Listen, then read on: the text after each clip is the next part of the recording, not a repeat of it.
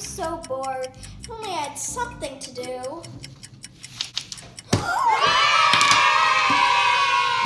I got an idea. Let's draw a dog. I have a fun little song too. There once was a man with no arms who got chased by bees, so he jumped in a lake. He rolled over two mountains, went to heaven and grew two wings.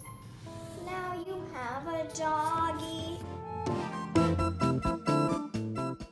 What should we name him? Albert.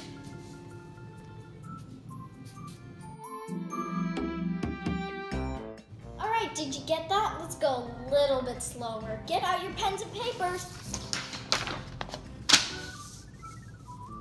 There once was a man with no arms who got chased by bees.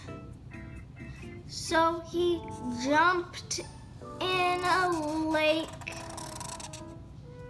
He rolled over two mountains.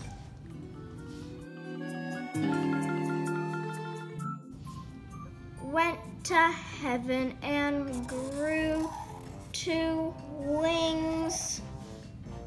Now you have a doggy. What are you gonna name your dog? My dog's name's Bernard. I'm not bored anymore. Are you?